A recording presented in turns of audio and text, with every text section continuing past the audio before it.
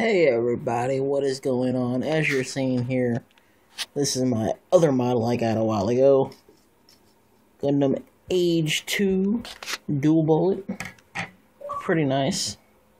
I will state it was really challenging to build, mainly these parts right here.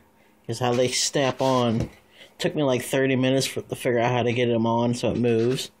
Because you can slide, move them like that pose them. The blades come off from out of there, and the guns actually go in there. And then, as you see on the back, there's a little white thing right there. That is the beam saber holder. So you can pop the saber part into the hand, put the guns back in where the sabers are now. And it actually came with a stand, so I'm happy by that.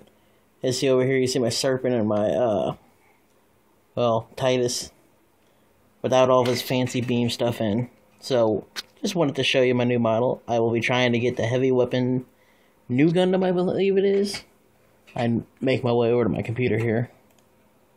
It is Nu Gundam Heavy Weapon System. Is what you've seen me use in SD Gundam Capsule Fighter. I'm going to try to get it, make it, and color it with markers. So, peace out, everybody.